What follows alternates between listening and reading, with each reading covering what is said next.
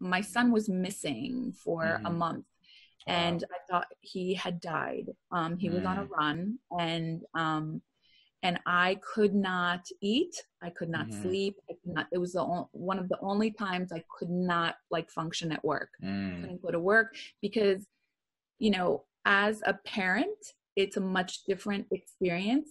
Um, Mhm. Watching somebody that you love slowly kill themselves and not be able to save them, not to be Mhm. able to do anything to stop it Yeah. and that's where i was at i felt very pa- that was like the true for me i didn't feel so powerless over my addiction but i felt Mhm. totally powerless over this whole situation with him Mhm. and so i was convinced that he had died i spent like three days crying nonstop and um, to the point that i hit an emotional bottom in Mhm. recovery at 14 months um, in my bedroom, you know, curled up in a ball on my bedroom floor, Mm. begging and pleading with God to please find him.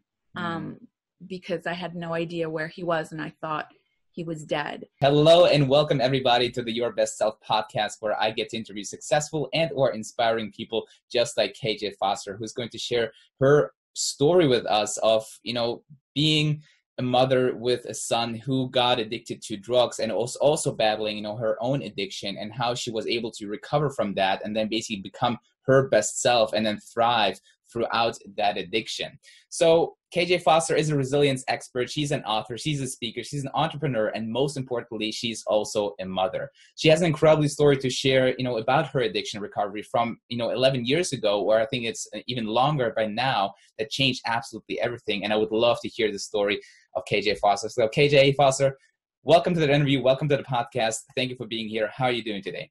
I'm doing great. Thank you so much for having me. Fantastic. So KJ, please share your story again, how you just basically shared with me. Where did it all start and you know what did you go through? Sure.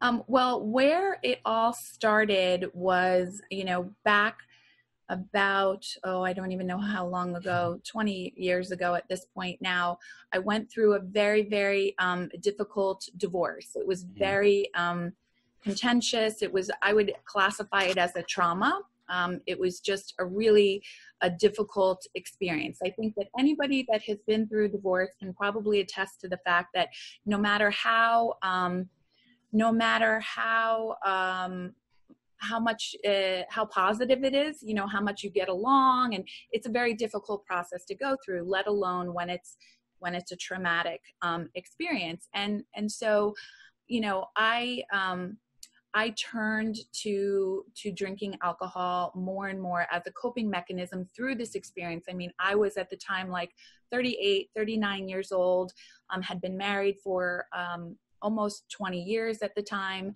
and um, I, you know, come from a family where um, you know drinking is very common and um, you know people drink a lot but they're also very very successful and as i shared with you earlier the motto sort of in my family is you know um, work hard play hard and so i grew up in this environment with a lot of drinking but also a lot of success you know Mhm. definitely instilled in me um, a very strong work ethic very strong values but this drinking thing was a big part of the culture Yeah. of my family and so what happened through this experience of the divorce is that my drinking took on kind of this whole new meaning and that I was using it to Mhm. cope with the the feelings and the um and the fear and the, all these things that were happening and and um, one of my sons who was a young teenager at the time was also turning to alcohol and drugs as this coping mechanism and what happened is that our uh, path, you know, our uh, progression of our substance abuse into addiction kind of paralleled each other and fed off of each other. So as he would have more difficulty get into trouble, you know, with his drug use, I drank more as a Mm. result of that. And so it finally culminated in me um, getting sober in 2008 mm-hmm. and um, after struggling to to try and um, get sober for a number of years it wasn't until 2008 when i when i had gotten a dui that it mm-hmm. really um, that was the the event that solidified to me in my mind that this is really an issue kj you have to get a mm-hmm. hold of this you need to do something and um and that's when my recovery journey began. And my my son though um however his addiction progressed and got even worse during the first year of my recovery which is which is common by the way in families where there's dual addiction going on. As one person gets better often the other person will get worse. And thank god you know he got sober um, 14 months into my recovery. And when he got sober a couple of months after that, I met my husband. Mm. So, my husband, I'm approaching 12 years of um, sobriety, and my husband is approaching 17 years of sobriety. And when I met my husband, he was in um, he had just gotten his master's degree in men, in mental health counseling, rehab counseling actually, mm-hmm. and was going on to get his PhD. And he was the one who encouraged me and said, you know, because um, I had such a passion at this point for helping other other people, mm-hmm. other people who were struggling with addiction. He said, why don't you go back to school, update your master's degree, and pursue this? Mm-hmm. Um, so I changed careers completely I was wow. in the hospitality industry for a number of years. And I really just decided as the result of my own recovery that I wanted to help other people recover. Mm-hmm. Because not only did I want to help other people recover, I wanted to help them to be able to see that they could not only uh, recover from this addiction experience, but they could become better than they ever ever were before. Because, like I said, you know, I came from um, I come from a family that's very successful, and um, and and yet, you know, I and and I was, you know, uh, for the most part, very successful. Even you know throughout my addiction i always was able to go to work you know and that's another you know miss um, myth kind of mm. about uh, people who you know suffer from addiction and struggle with addiction is that you know the, they live under the bridge and they're mm. you know so down and out and there are people walking around showing up for work every single yeah. day that are that are you know in the depths of hell so to mm-hmm. speak yeah. struggling with their with their addiction and so I always was able to get up for work, show up for mm-hmm. work, um, but clearly not at my best. Mm-hmm. Because what I discovered through my recovery is that um, even though I was seemingly uh, high functioning, you know, that's mm-hmm. what they call it. Oh, you are high yeah. functioning, you mm-hmm. know, um, alcoholic. And the fact of the matter is, is that um, I, I, I guess I was high functioning, I didn't realize until after uh, I was, you know, into my recovery for a couple of years that I could be so much better than mm-hmm. I ever was before my addiction. So, yeah. because I was living in this environment of work hard, play hard, mm-hmm. you know, I didn't realize that the playing hard was really taking away from my ability to be my best self. Mm-hmm. And um and that my recovery has created this um, you know has empowered my true self mm. and made it possible for me to be better than i ever ever was before so i wanted to share that with other people i wanted mm-hmm. to share with people that you know there, there's not only this possibility for you to recover but you can actually become a better version of yourself you can become better than you than you ever were before the addiction yeah. and and one thing that i wanted to point out too is that is that you know addiction is an experience okay mm-hmm. it's an illness and so many people look at um, individuals who struggle with addiction as they're oh they're just an addict they're just mm-hmm. an alcoholic they're this they're that mm-hmm. and um, and that really damages a, a, person's ability to to recover in some cases mm-hmm. because it is not who the person is you know it is an experience that they're having it's an illness that they're experiencing and it's an illness that you can not only recover from but you can absolutely become better than you ever mm. ever were before yeah Wow, that's fantastic. Thank you so much for sharing that story. And uh, congratulations, obviously, on uh, turning almost 12 years into recovery and, you know, your, your husband 17 years. That's absolutely amazing. So what I would like to know is when is something considered an addiction rather than just a bad habit? Well, it's all about the consequences, mm-hmm. right? So there are plenty of people out there who are, you know, drinking and using drugs to mm-hmm. excess, mm-hmm. probably, um, but not uh, seemingly experiencing any consequences. And that's yeah. sort of the trickiness when it comes mm-hmm. to um, addiction is that, you know, uh, I guess the, the, the difference between substance abuse and mm-hmm. addiction is that when you cross over, I call it like crossing over mm-hmm. into addiction because, um, you know, the, the difference uh, to me is that you start to um, drink or drug against your own will even mm-hmm. you know mm-hmm. in your mind you're you know that you need to stop or that this isn't really mm-hmm. healthy for you and and um, it, it's becoming you know an issue in your life but you keep doing it anyway mm-hmm. um, another classic uh, sort of symptom that you've crossed over into addiction is that you start to experience consequences yet you don't change your behavior right mm-hmm. so you're faced with a crisis you're faced mm-hmm. with getting fired from a job you're mm-hmm. faced with a health issue and yet you still don't change behavior mm-hmm. that is really that's key difference between somebody who may be like a you know just a heavy drinker or a problematic drinker or somebody who's mm-hmm. using drugs recreationally to mm-hmm. somebody where you're faced with this life issue and yeah. and and it's a consequence or it's a problem and you yet you continue to drink or drug mm-hmm. despite those consequences Mm. And when was the time for you where I obviously shared that in the story where you sort of had this, you know, crossing over point where you realize, all right, it is an addiction. It is not just something that I do uh, here and there, but it actually is an addiction and I need help. When when did you realize that?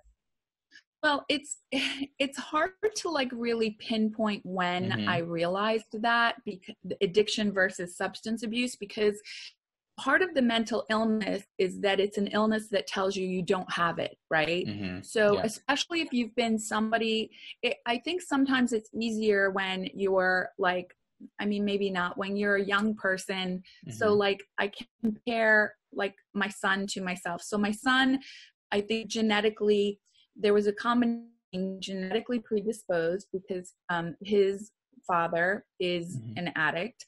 And so being genetically predisposed and then also experiencing trauma mm-hmm. escalated that. But he he was always somebody who from the moment he put a drink or a drug in his body, he was not high functioning. There was no going to school, there was no holding down a job, there was no it was mm-hmm. like pedal to the metal from mm. day one. Yeah. So whereas for me, I was able to drink, you know, socially for a number of years did i have periods in my life where maybe i was drinking you know abusing more mm-hmm. than social um, yes but mm-hmm. like i said i was always able to work and function have a family mm-hmm. all of that so when it started to become an issue is very soon interestingly enough you know my divorce was the result of my my ex-husband's alcohol use mm, so that mm-hmm. was a contributing factor to the divorce and at that time i didn't have a problem with mm-hmm. alcohol mm-hmm. it was his problem you know mm-hmm. not my problem and it yeah. wasn't until the divorce occurred and i started i found myself starting to use alcohol um, more and more that i on my own decided mm-hmm. this is you know this isn't going heading in a good direction i'm mm-hmm. drinking more i need to do something about this and i chose to enter alcoholics anonymous at the time mm-hmm without having suffered any consequences other than you know looking at myself in the mirror and going oh my god this you know mm-hmm. you're out of control this is mm-hmm. bad mm-hmm. and because i hadn't suffered any other consequences externally they were all internal you know mm-hmm. to me it was very easy to compare myself out because i heard other people's stories and they were all so like me mm. horrific and people yeah. getting arrested and mm. people you know doing like really um crazy things as a result of their addiction so i thought to myself i'm different you know i'm not as bad as this person that person So I struggled, you know, um, kind of going in and out of the program for five years because mm-hmm. I hadn't experienced any true external consequences until my DUI. Okay. And when I got my DUI was when, um, because I would say to my my family, my my mm-hmm. drinking family, remember mm-hmm. my my yeah. family that Work this hard, is a, a, big part of the mm-hmm. culture. I would say to them, you know, uh, I'm going to AA. Like, I really think I have a problem with my drinking. And they, unlike a lot of families, would say to mm-hmm. me, No, you're fine. Yeah. Like, you know, you're working, you're a single uh-huh. mom, you're taking care of your kids, you're mm-hmm. like, you're fine. Everybody gets out mm-hmm. of hand every once in a while, you know, you're okay. So I'm going, Oh, okay, I'm okay, I'm fine. Uh-huh. So it wasn't until I got my DUI that I was finally able to say to mm. my family, um, I think I may actually have a problem here. Yeah. And so I entered back into the recovery program and uh, and as I said, my son was getting worse.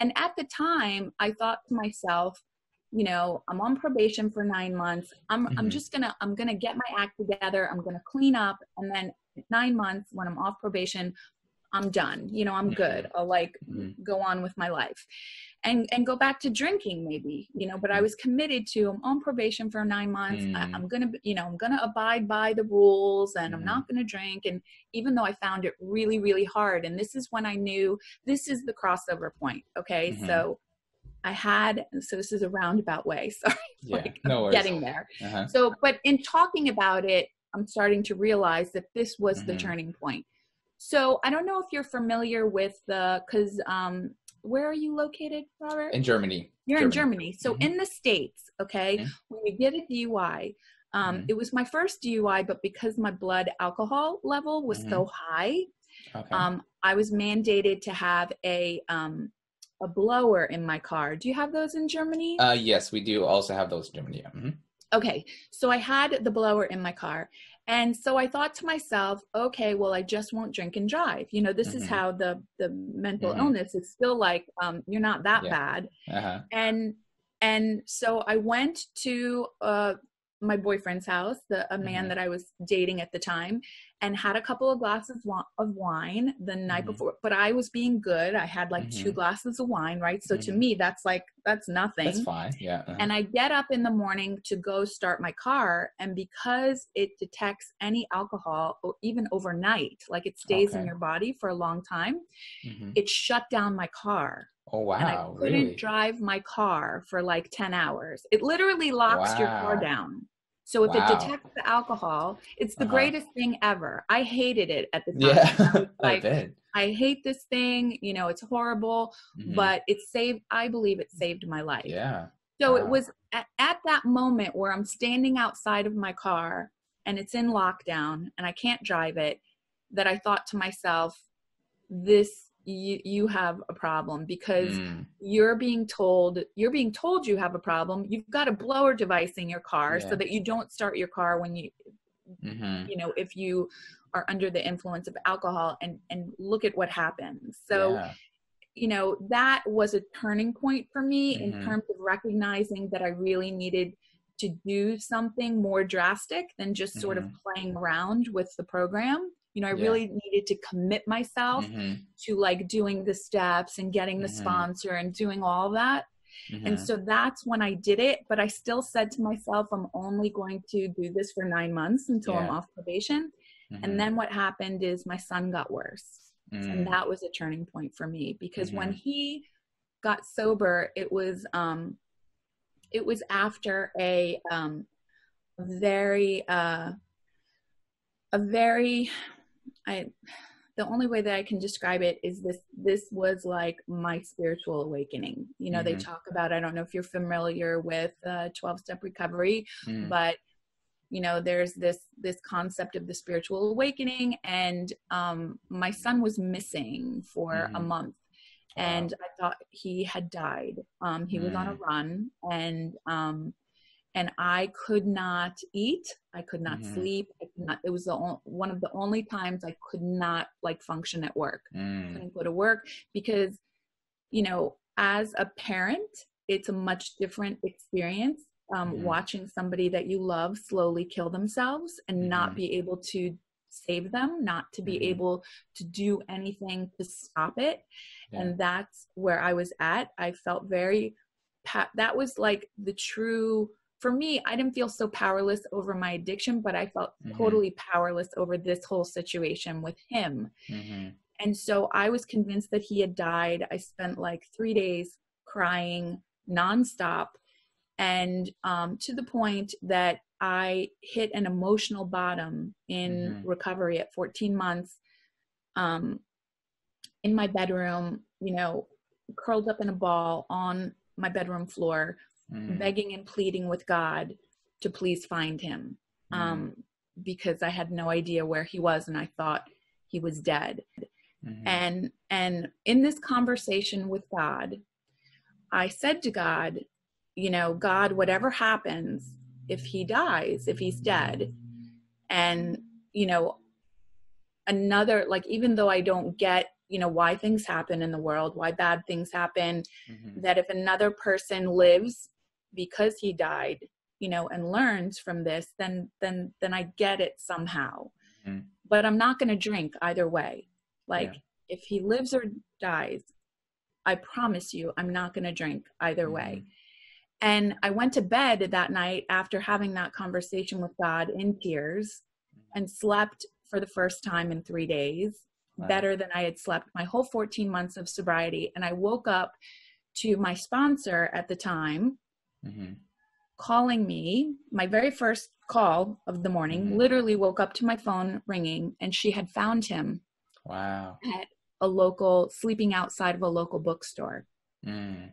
and to me that was there was no doubt in my mind that um god what i believe to be god you know um exists and heard Yeah. my prayer. And so when I went to go meet with him, because I said to her, keep him there, don't let him Mhm. go anywhere, he was high at the time. And I begged him to let me take him to detox. And he Mhm. wouldn't come because um, somebody owed him $5. He wanted to go get his $5. Basically, he wanted to go get high again Yeah. and um and in that moment watching him walk away he said to me i'll call you tomorrow mom and i knew he Mhm. wasn't going to call me you know Mhm. tomorrow um i was at such peace in watching him walk away that day Mhm. um because i knew that you know he was in god's hands like i had no Yeah. control over the situation whatsoever Mhm. and I, yet i could i could go about my day i i have you know another child and i, I could take care of him and go to Mhm. work and i was totally at peace at a Yeah. peace i had not ever felt before. And he called me a week later and asked me to Mm. pick him up. And um and that was the beginning of his journey to recovery. And when i when he called me and i picked him up and i went to a meeting that night there was a woman at the meeting who said to me kj don't you think that for you to pick up a drink um, after after what happened after you know finding uh, your son and and his you know him recovering on all of this don't you think that picking up a drink at this point would be kind of like slapping god in the face I was like, oh man, like any thought I had of having a drink just totally got like wiped Yeah. out. uh-huh. Like that's the way that I really have felt about it. That I'm Mhm. so grateful for my recovery. I'm so grateful for his recovery. That to me, picking up a drink today is like Mhm. would be Yeah. completely like Yeah. insane yeah. so that was that was really a turning point for me in terms of being committed to this um you know just really not just being sober but really Mhm. living like the best life i can possibly live like really contributing to life Mhm. rather than taking you know Mhm. it was like when the shift happened for me of you know life being all about like you know what i can get and what i can achieve and even though i Mhm. feel like i've definitely achieved way more than i ever imagined that i would ever achieved achieve it's based upon this this whole um mindset of giving you know Mhm. of giving back to people of helping people of restoring their hope and their faith and Mhm. and helping them to become better than yeah. they ever imagined they could be. Mm, that's amazing. Thank you so much for sharing that. It, I, I really felt that because obviously I, I am not a parent. I cannot, you know, uh, imagine how it is being in that situation. I just know how it was for my mom as I was in the U.S., uh, you know, abroad for a whole year and got into a horrible car accident. And, you know, then my host mom called my mother and told her that I was in the hospital basically and under surgery, how she must have felt at that moment yes. where she was completely helpless. She couldn't, you know, get over there and it was completely out of her control. So I cannot imagine how hard it must be for a parent seeing his child, he seeing his son in that state and not knowing obviously where he was and thinking that he died. It Mm-hmm. That's that's unimaginable for me. So I condemn you for you know being able to stay strong at that time because I believe that especially in that time you also said that kind of like turning to drinking was a way of coping with the trauma coping with the difficulties mm-hmm. that you have in life and escaping mm-hmm. sort of this reality right so right. probably like one of those moments where you knew like he was gone and you don't know where he is probably a lot of people would have picked up drinking again but you did right right, right. so what what what gave you the strength in in that time of you know not picking up a drink again well one of the one of the things that that i teach to mm-hmm. um, the people that i work with is that there are three critical elements that you need in order to successfully recover yeah. and and one of them is is a mentor is mm-hmm. somebody where you can follow in their footsteps you know mm-hmm. somebody that has achieved what um what you are seeking to achieve mm-hmm. and you know i cover I, I teach actually, you know, uh, six elements, which mm-hmm. cover in my book, The Warrior's Guide to Successful Sobriety. But there, out of those six, there are really three that, like, I, I, believe are absolute musts. Like you really need to have these in order to like you could stay abstinent, but what I'm talking about is to successfully recover and become like yeah. the best version of yourself. And mm-hmm. so the mentor is is one of them, but also there's what I call the tribe, which is mm-hmm. the support group. And yeah. so so, especially for me during this time, the support group was critical. And I mm-hmm. remember, and and and I'm somebody, even though 12 step recovery um, it is something that worked for me. It was really the only option. You know, mm-hmm. there at the time that I got sober, there I didn't know of any other like programs. There mm-hmm. are so many more now, which I think is great because um, it's hard for a lot of people to get 12 step mm-hmm. recovery especially if you've had like a bit of a higher bottom you know i yeah. think for people have have really low bottoms it's mm-hmm. definitely you know um, uh, super effective so having this um, this tribe this support mm-hmm. group that was behind me because at nine months sober i started going to al-anon which is mm-hmm. the you know the family the family members it's a 12 step program for family members okay and I was so resistant. Like people were telling me from the very beginning, you know, KJ, you need to go to Al-Anon. KJ, you need to go to mm-hmm. Al-Anon. And I was like, whoa, like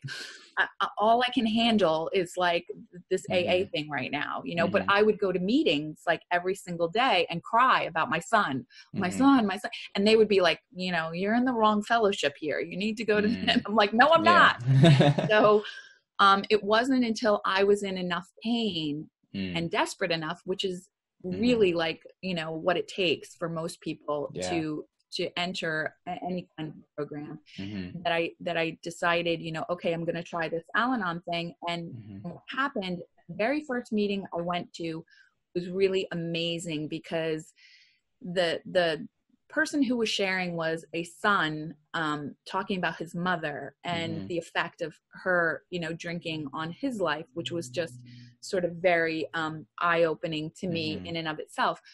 But after I had the opportunity to, to share what I was going through, and this was a time where my son was getting into so much trouble, mm-hmm. you know, he was like, you know, getting into my house um, mm. when I wasn't there, when he wasn't supposed to be, you know, things mm. like that over and over again. And so this this gentleman came up to me after the meeting and he said to me, um, he said to me, do you, he did something which I call um, you know, he patted me on the back and sort of mm-hmm. slapped me in the face all at the same time. oh wow. right? So so he he was saying to me you know kj you know you you really need to um to set some like boundaries for mm-hmm. your son because what i didn't realize is i was doing things that were actually enabling him mm-hmm. that that i you know wasn't aware of like allowing him to continue to you know not forcing him to go to treatment things like that so he said mm-hmm. to me listen you need to set some boundaries with him you know um, uh, for him to get better. I have a son. He went through the same thing. He's now mm-hmm. recovered. He's, you know, married, has kids. So he gave me hope, you know, like mm-hmm. his son went through the same thing. And then he said, these are the things you have to do. You know, you can't yeah. let him live with you if he's, if he's using drugs. Mm-hmm. And I'm like, well, wait a minute. Like, mm-hmm. I, you know, what, what are you suggesting? Like, I can't mm-hmm kick him out. Like I yeah. love him. And he said to me, KJ, you're gonna love him to death mm-hmm. if you don't start to set some boundaries. So that was like the slapping yeah. me in the face. And then he says, But you just said you you just celebrated nine months, right? Mm-hmm. Of sobriety. And I said, Yeah. And he said, Do you realize how freaking amazing that is mm-hmm. like all that you're going through with your mm-hmm. son and that you have not picked up a drink or a drug in nine months mm-hmm. because that is amazing. And yeah. I hadn't even thought about it for like I was mm-hmm. so focused for 9 months on just getting through the day, just getting through mm-hmm. the day. You know, that was my life for mm-hmm. the first like year and a half of wow. recovery. I feel like a year, a year, you know, like mm-hmm. 14 months. Just get through the day, KJ. Just get through the day. And he was like, "That's amazing." And I was like, I stopped for a moment, and I was like, "Yeah, yeah. that's Mm-hmm. That's pretty amazing. But it was my mm-hmm. support group. Like when I did have to kick him out of the house and mm-hmm. say, listen, you can't live here, which resulted in him then missing for a oh, month. Yeah. So, mm-hmm. of course, you know, I'm that was the hardest thing that I mm-hmm. ever did because there are people who have done that and their loved ones have died, you know, and mm. I'm like, thinking to myself, I just killed my son. You know, yeah. I did it. Like mm. this is and there were there were a group of people supporting me that were telling me listen you did the right thing he wouldn't go to treatment you had to do this i filed a marchman act mm. which i don't know um, it, if they have those in germany where you can mm. mandate your loved one into treatment things mm, like that no, don't know i don't know about that mm-hmm yeah so that's something that i ultimately you know mm-hmm. um, had to do which helped him to get sober which is a whole mm-hmm. another part of the story but um, i filed a marchman act so i had to do all of these things that as a parent so scary yeah so like oh my gosh what's going to happen am i doing mm-hmm. the right thing because even though i am a religious person my concept of spirituality is all about mindset it's all about going from this place of hopelessness, shame, despair, mm-hmm. resentment, anger, you know, all of these negative like mm-hmm. um, emotions that are sucking the power out of you and, yeah. and creating this this mm-hmm. place of powerlessness to courage, you know, mm-hmm. and compassion and mm-hmm. understanding and love and forgiveness and all of those like higher vibration emotions. So when I talk spirituality, I'm talking about mindset. Yeah. Wow. That's amazing. And and you just said, you know, where you go, you know, a lot of it is about mindset obviously and that that's what i want to touch upon um, a little bit more and a lot of it is about obviously beliefs and you know limiting beliefs sort of that you have in your mind all the time and you've been talking a little bit more spirituality and that's what i want to touch upon. So you said you sort of changed the beliefs and the mindset from you know all this negative all this draining energy to to the positives and like how did you go about doing that? Obviously you had a support group which helped you. You had mentors who helped you but did you read any other additional books or did you you know got into courses that helped you change those beliefs? Sure. I mean uh, as a part of the the 12 step program you you you know you do the steps which are mm-hmm. a process. I believe it's a, a shame reducing process a big part of it you mm-hmm. know um but as a as a part of going through those steps it is it is um, teaching you to go from this place of hopelessness resent especially resentment and anger you know um, and i think self-pity is a is a big one that that people struggle with yeah. because addiction in and of itself is you know addiction is a mental illness mm-hmm. and as a mental illness it takes there's not one single person that you're going to find who's in active addiction mm-hmm. that is not in a place of hopelessness, despair, negativity, you know um, anger resentment blame all of Mhm. those things so there so for me the 12 steps were a process of helping me start to go from this place of negativity to this place of courage this Mhm. place of hope this place of unconditional love like that's one of the you know um it's one of the um sort of um mottos so to speak i can't Mhm. think of the word but it's you know 12 step recovery is all about practicing Yeah. you know unconditional love um so so that was part of it and and there are other programs that you know that help you get there as well but for me it was the 12 steps and i Mhm. think it was through my education like going back and getting my phd and Mhm.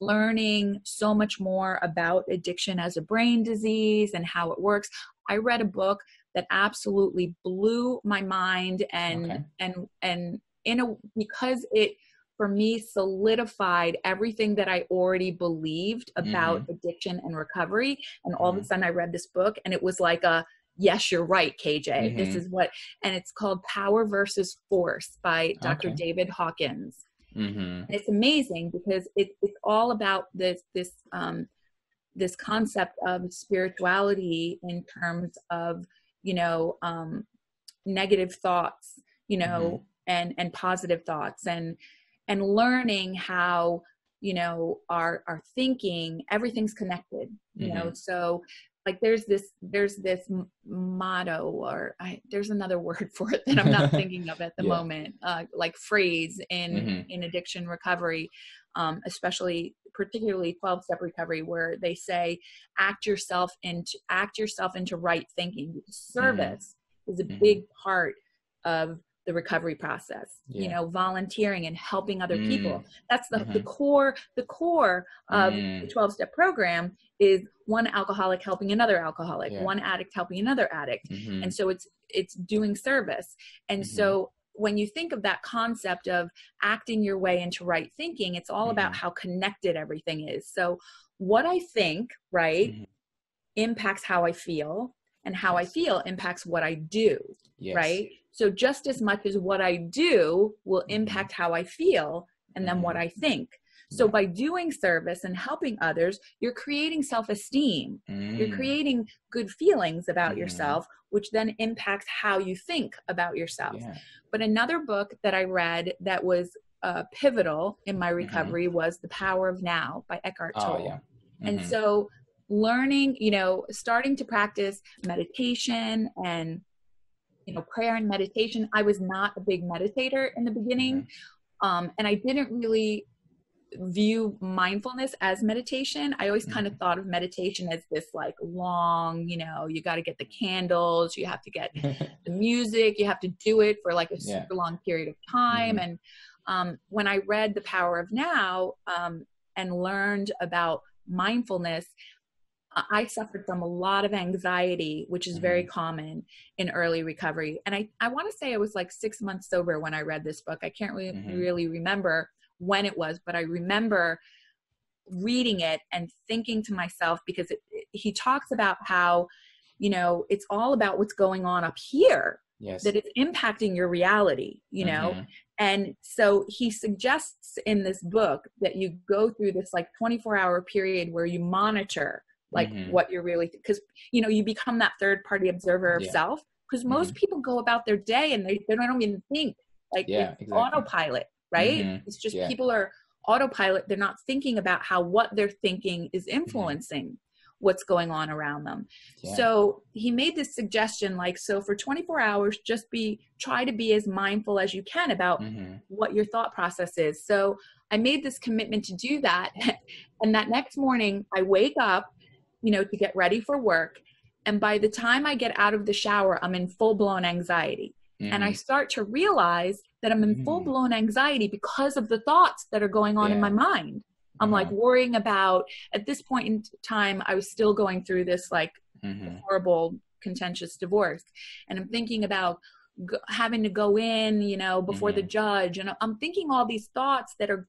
creating my anxiety and nothing has changed Mm. nothing has happened all i've gotten out of bed to get yeah. ready for work and nothing yeah. is going on except what's going on mm-hmm. in my mm-hmm. head yeah. and so i created these mantras mm-hmm. that once i realized i was going into this negative mindset mm-hmm. it was like oh insert tape you know and i would mm-hmm. just start repeating these mantras in my head over and over mm-hmm. again until my mind shifted out of this negative you know i was going down the negative path again. No oh, oh, no no let's turn and go this way. Uh-huh and it's i you know share with people that it's not an easy thing to do because people will say oh, no i can't do i wish i could do that i can't do i just yeah. can't control my thinking mm-hmm. and it's like no you you can't like if you've never done it before mm-hmm. it's like sitting down to play the piano when you've mm-hmm. never practiced exactly you're not, gonna, to be able to play right yeah. you can't play you need to practice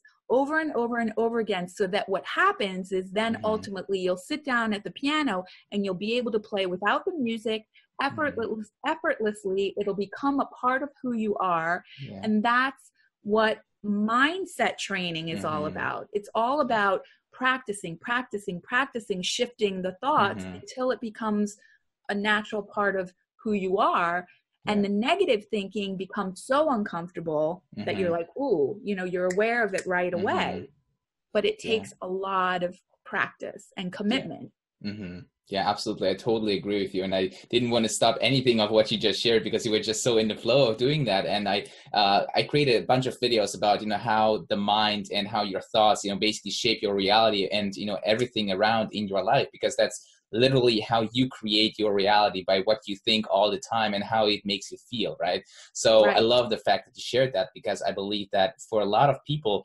that's might be living right now and as you said most of the people are living on autopilot they're like merely existing throughout their day instead of actually living it you know consciously so mm-hmm. I, I just you know love the fact that you shared so much about why it's so important to be aware of your thoughts and direct those thoughts and realize hey like all right i'm i'm constantly going into the negative side of things so let me just you know pull that back and you know move that into the positive ones and you also mm-hmm. shared that you've been using mantras right so every single mm-hmm. time you were like all right there's something negative going on you reaffirmed yourself with a mantra a positive affirmation mm-hmm. and you know kind of like went into the positive side of things right right do you mind sharing you know um, one or two mantras that you've been using which you've been um, using all the time to sort of get you back onto the right track Sure. One of the mantras that um, I started to use is I am calm and confident mm-hmm. because the anxiety was so mm-hmm. um, was so great for me so yeah. that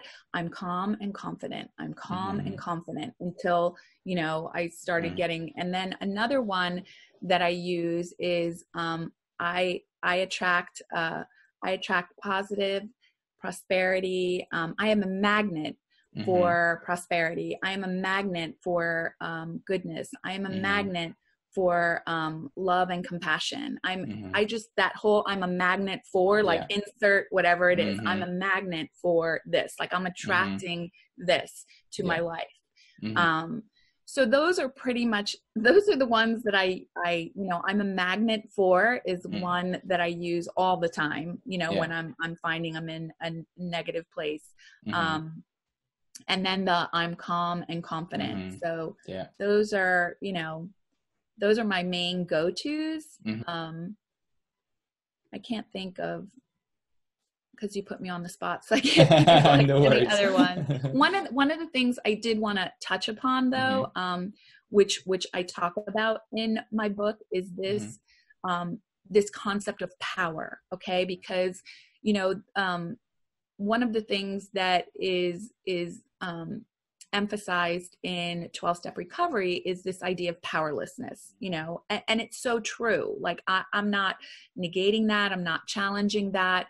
I mean i definitely when i was in active addiction and um you know even in early recovery i was in a place of powerlessness. You know i was powerless over um, my my addiction i was powerless over my son i mean there are so many things that we're powerless over right mm-hmm. but we're not powerless over ourselves like yeah. we're powerless over you know all, other people we're mm-hmm. powerless over other things but one of the things that i challenge um, in the in that's a belief of a lot of people in 12 step recovery is that you're always powerless like mm-hmm. that you, you know and, and i don't believe that at all i believe mm-hmm. that you know the whole uh, the whole mindset you know what, what i refer to as spirituality the whole mm-hmm. mindset is all about going from this place of powerlessness to a place of power you know mm-hmm. having power um, creating strength within mm-hmm. yourself and that there are things that we can do that will deplete us of power and there are things that we can do that will give give us mm-hmm. more power give us more strength and especially when it comes to addiction recovery it's very essential to be mindful of where you are in terms of that power differential mm-hmm. you know are you thinking in mm-hmm. ways that are depleting your power you know mm-hmm. are you doing things that are depleting your power mm-hmm. and what are the areas in your life where you can you know do things think things um, that are going to give you more and more power because mm-hmm. as long as you have the the proper power differential you know then you're you're not really at risk for picking up a drink or a jug because if you're mm-hmm. full of like if your true self you know what mm-hmm. I call the true self, what some people refer to as the sober self. Mm-hmm. But when my true self is is really at maximum power in terms of like I'm feeding myself mentally, mm-hmm. emotionally, spiritually, physically, then I'm not at any risk for wanting to pick up a drink or a drug. But if I start doing things that start to deplete that power, you know, mm-hmm. whether that's um, not you know not uh, attending to what's what's going on in my mm-hmm. mind um, engaging in negative emotions you know like really like um, allowing those to kind of take over and then also doing like we can do things you know what i mean um, that that take away our power whether mm-hmm. that's you know doing something that we know is not right or hurting mm-hmm. somebody or or whatever excuse me mm-hmm. no worries so that's um, that i just wanted to emphasize mm-hmm. that that i have like that's what um, dr hawkins talks about yeah. in power versus force mm-hmm. fantastic and what's interesting also to me is um, because sometimes i believe as you said people don't realize that they have an addiction because they perhaps do a certain thing they have a bad habit but they wouldn't classify that as an addiction and right. i would love to ask like next to you know substances as alcohol and drugs what are some of the you know a lot of common other addictions that people have perhaps like television i like uh, smartphones video games and all of that yeah that's um the, the process addictions are a big one now mm-hmm. um there's also i mean there's there's so many there's there's yeah. gambling there's mm-hmm. um there's sex there's mm-hmm. porn there's mm-hmm. um food you know yeah. food is is a big one and that you know a lot of these other addictions too can um, co-occur with mm-hmm. substance abuse so you know when when when of course i talk about substance abuse i'm talking about like alcohol and or mm-hmm. drugs but food can often be very um, tied in to mm-hmm. people's other substance abuse so for example if um, there's there's often the case where you know females will be using certain substances um, and they'll stay thin mm-hmm. and then when they start to to get sober they they'll then eat mm-hmm. you know and so they use that as a way to excuse me as a way to stay thin mm-hmm. so because they have this issue with um, their body image and their appearance it can then um, tie into the the drinking and or drugging mm-hmm. and then there's also um, you know there's a there's a close um, link between a lot of sex addictions mm-hmm. as well and substances mm-hmm. so there's um, you can become addicted to just about anything you can become addicted to to work in an mm-hmm. unhealthy way you know mm-hmm. where yeah. you become uh, physically unhealthy where you are sacrificing your relationships in your life mm-hmm. you know are are not healthy because of your addiction to work i think that you can become addicted to just about anything and yeah. that the key the key when it comes to something being classified as an addiction is that it is something that is creating problems in your Mhm. life yet you continue so for example my son um, one of my sons is uh, an um, animator. So he's in school right now in his last year of college for animation. And Mhm. he so that creates him being on the computer like you know a lot because everything that he does is creating on the computer. Yes. and he um and he plays games on the computer with his friends and like dungeons and dragons and all sorts of uh different things. And so you know it,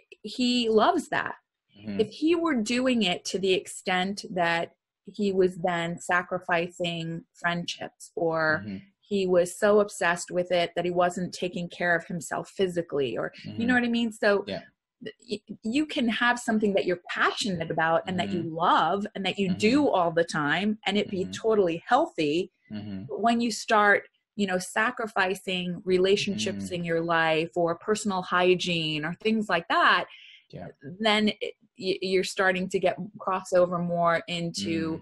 it being an addiction Yeah. that makes sense Mm, absolutely, and that's that's kind of like the next question that I would have is how do you identify, you know, uh, how, what is an addiction and what is not? Because you know, but you basically just answered that by realizing, all right, you know, I'm slacking off at a few other important factors in my life because I do this thing all the time, and it's so important to me that perhaps that is then an addiction.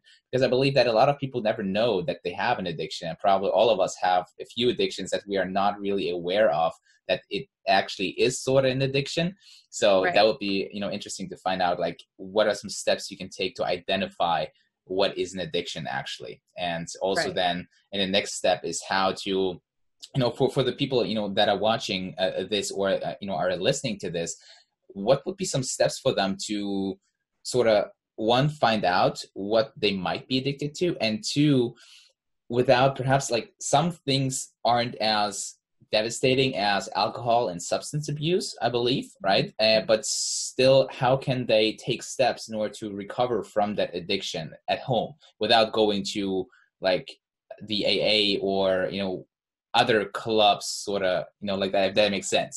Like what Mhm. steps can they take to to recover at home um, from their addictions well first of all they they need to have a willingness you know Mhm. they have a have to have a willingness to address it and so that's what makes addiction so tricky you know Yeah. because like I, I mentioned earlier it's one of the only mental illnesses aside from alzheimer's Mhm. where people that have it will deny that they have it Mhm. So, you know, like that, uh, if you've, I used to work with Alzheimer's patients, and quite often, not all the time, but quite often, if you were to try and have a discussion with an Alzheimer's patient about them having Alzheimer's, they will deny that they have it, Yeah. you know? Mhm. So it's the same for addiction, um, and which is why you know um, interventionists are so popular because it often takes the family getting together and having this Mhm. intervention with their loved one for them to like snap out of the denial that occurs as a result of addiction. So Mhm.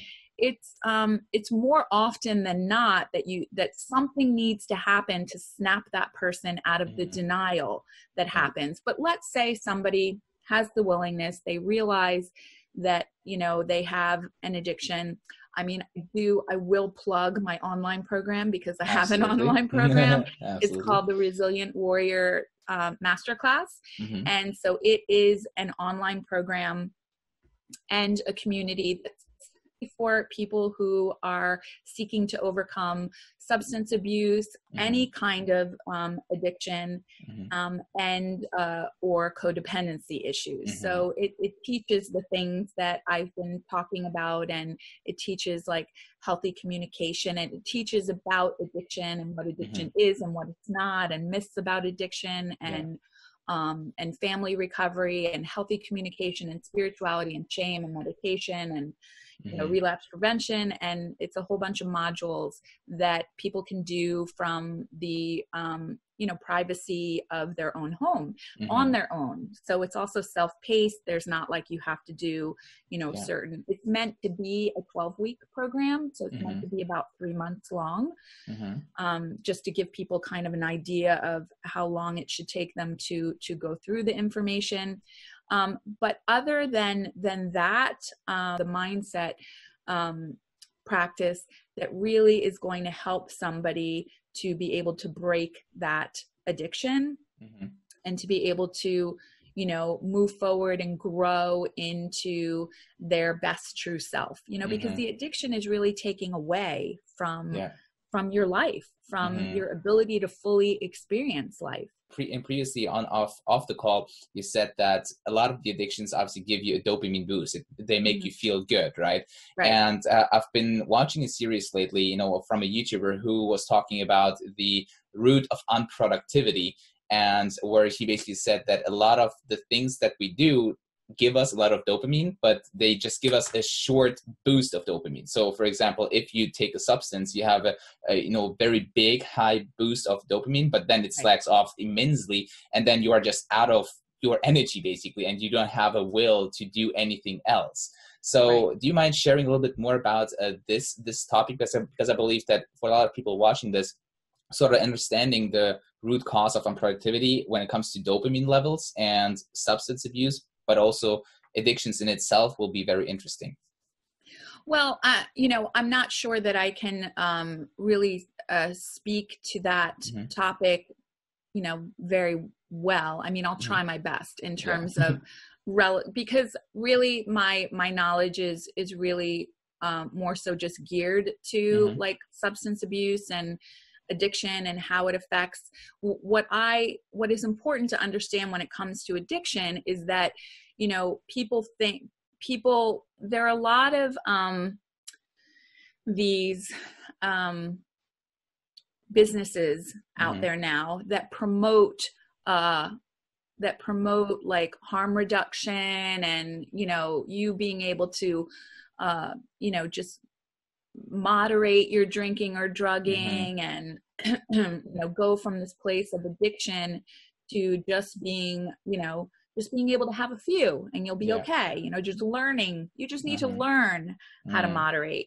and um, that is when it when you've crossed over what i call mm-hmm. crossed over into addiction there's really n- never any going back to moderating mm-hmm. and that's because of the dopamine load mm. and that's because your mo- your brain has been bombarded with such um, a level of dopamine mm-hmm. that um, you know i'm not you know a neuro scientist or anything yeah. like that but my my basic understanding mm-hmm. of of the the dopamine impact it, and the reward system is that um, once you go through that that that process of your brain reaching that that level mm-hmm. then once you pick up a drink or a drug it's automatically going to go back to that mm-hmm. level again like it's going to hit that point which creates then the craving mm-hmm. so and i'm probably not explaining this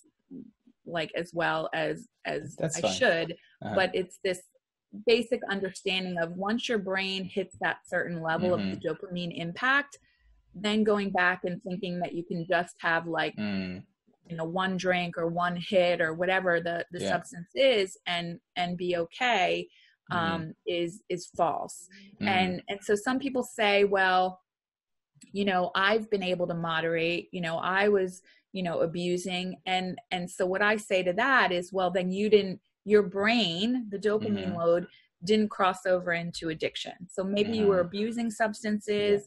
you know, you were you were having a hard time and you went through this period of abstinence and mm-hmm. recovery and now you're able to moderate. Well then you you didn't cross over into mm-hmm. addiction. And so mm-hmm. your brain didn't get to this point.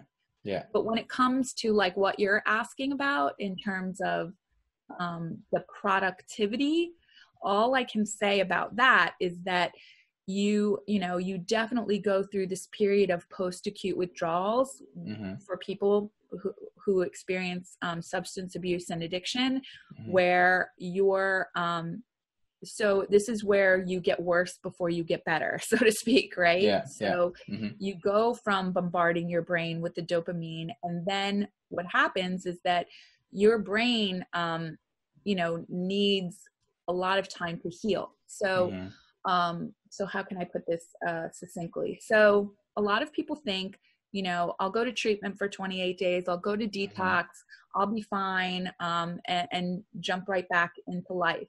And so, Mm-hmm. what they don't realize is because you don't see it, it's in our brain, right? We're, we're not Mhm. walking around with a brain scan that shows Yeah. like how our brain is functioning. Mhm.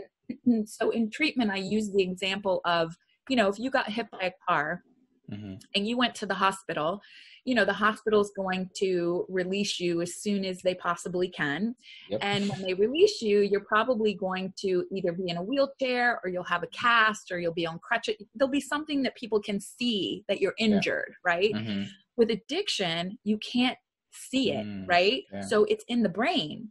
And Mhm. what people don't realize is that the brain is healing and there is this um, there is this you know rehabilitation that Mm-hmm. needs to happen for months you know post-acute withdrawals happen for up to two years and Wow. what happens with post-acute withdrawals is as the brain is healing it will um, it will manifest in symptoms such as um, insomnia, irritability, uh, low stress tolerance, um, cognitive issues where you Mhm. can't remember things, you can't remember what you read, you can't remember people's names. So Mhm. these things will will come up. They Mhm. usually only last for a couple of days at a time. They're very intermittent, but they'll be Mhm. happening for a period of two years and that's where you you know thinking that you're going to go to treatment and then go back to work and be at a Mhm. 100% or go back to taking care of the kids and be at a 100% is is false it's productivity issue Mhm. right you're you're not going to be able to be as productive Mhm. as you were um Mhm. you know prior to you becoming addicted Mhm. and so some people have this false belief that they can just go back to work, they can just go back to, you know, family life and they'll be um they'll be able to function as as Mhm. they had in the past. yeah, So yeah. I don't know Mm, that, that, makes sense. Yeah, no, that that definitely makes sense. And you've also talked about um, cravings a few times, right? And Yeah. How do you deal with cravings when you are, you know, in the process of recovery? And obviously, you will be having cravings all the time. You will be, you know, seeing people drink, and you might be thinking, all right, you know, maybe I can get a drink as well. But how can people, you know, in the process of recovery, deal with those cravings? Like, how can they cope with that? Okay, so well, the first thing I want to explain is that a big part of relapse prevention, you mentioned Mhm. like seeing people drink, being around Mhm. people who drink. Um, relapse prevention is, I equate it to um, like a minefield. Mhm. So, you know, when when you're in recovery and you're going out into the world as this new sober person, right? It's like you're going out into this minefield and there are mines all over the place. And if you don't know where the mines are, then the likelihood that you're going to step on a mine and it's going to blow up your recovery is going to be pretty great. And so the relapse prevention is about identifying where all the mines are, Mm, like certain places, you know, Mhm. people, situations that you want to be careful of because they could trigger you. They could Mhm. create a craving. And what a lot of people don't realize when it comes to cravings is that um, something that that happens with the neuroconnections, okay, Mhm. the neurotransmitters, is that when um, so when you spend time with people and Mhm. you let's just use drinking but it could be drugs or anything and it's more powerful when the more powerful the drug the neuroconnection is that if i've spent a lot of time drinking with someone right and this happened to me over and over again with mm-hmm. the the the man that i used to date when i first came into recovery is he drank and so i would say to myself we're going to go out to dinner. I'm not mm. going to drink. I'm committed to my recovery. And I meant it wholeheartedly. Like, I don't want to drink. I'm committed to my recovery. But what would happen because I spent so much time drinking with him is that these neuroconnections were formed in my brain with Yeah. him and the Mhm. drink. And it didn't take a long period of time of him drinking in front of Mhm. me for a chemical release to happen in my brain that Yeah. was so powerful, created such a strong craving Mhm. that I was like, uh, order me one of those. And he'd be like, Mm. um, I thought you weren't supposed to be drinking. And I'd be like, oh, no, I'm okay. That's fine. But Mm. I'll, I'll take one Yeah. Because of the intense craving that happens. Mhm. So people do not give that enough validity and, and credit, like that this is real and that's what happens. So Mhm. identifying you know those areas is really critical and not putting yourself in that situation mm-hmm. but let's say you are having a craving there's a lot of different things that you can yeah. do to help you move through that craving. One of those, of course, is picking up the phone and calling mm-hmm. somebody and helping them to talk you through mm-hmm. the craving.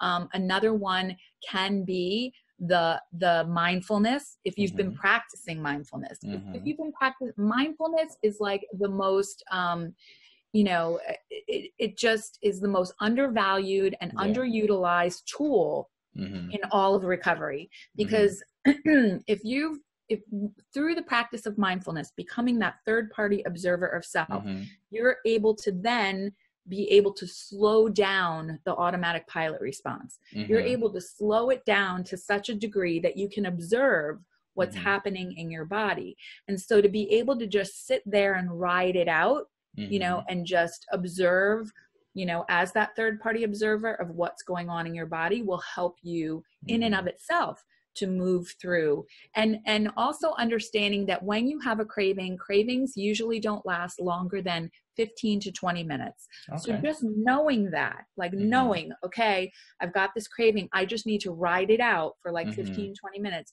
you can also do things like you know take a hot shower you know mm-hmm. t- take a bath um, um, aromatherapy is good for mm-hmm. for cravings so there's all sorts of different mm. things that you can do for it but i would suggest practicing mindfulness yeah is a huge mm. you know um will be a huge benefit to being able mm-hmm. to ride through those cravings. Fantastic. Yeah. And thank you for sharing because I didn't know that cravings only last for like 15 to 20 minutes. Because if you know this fact, you know, as you said, if you know that, then you know, all right, I just got to stick it through for 15, 20 minutes and it will get easier, you know, once you know once the time has passed basically right right and and mm-hmm. also that's where mindset can come in to help mm-hmm. you as well because it's going you're going to be able to ride through that craving much better coming from a standpoint of leaning into it than mm-hmm. being like uh, you know start yeah. to get like anxious and panicky about it and mm-hmm. because th- being aware again of what's going on in your mm-hmm. mind you can mm-hmm. attach to that craving and feed it in yeah. ways that will make it worse mm-hmm. for yourself. Yeah, that makes sense. All right. All right, KJ, we're getting close uh, to the end of the interview here. And I absolutely loved everything that you shared with uh, me here and everything, uh, you know, with the audience as well. And there's always one thing that I love to ask at the end of the interview where I believe that the answers are always very, very great in all, you know, in all sorts of forms. And I almost know what you're going to be answering, but I'm uh, very excited for that. So if you were to if you were to be able to teach the entire world one concept one mindset or one you know thought pattern that they would understand in order to have a positive impact on the whole world what would it be it would be mindfulness. Yes, Absolutely. I knew it. it would be mindfulness. Mindfulness changed my life. I mean, yeah. it absolutely changed my life because with mindfulness, you go from this place of being this passive participant mm-hmm. in life, right? Where mm-hmm. I just allowed things to happen. You know, I just was this receiver of, you know, everything that was going on in my life, even my my um my thoughts. I mean, mm-hmm. my thoughts were bullying my body and I was allowing it to happen. Mm. I just was mm. this passive participant in it.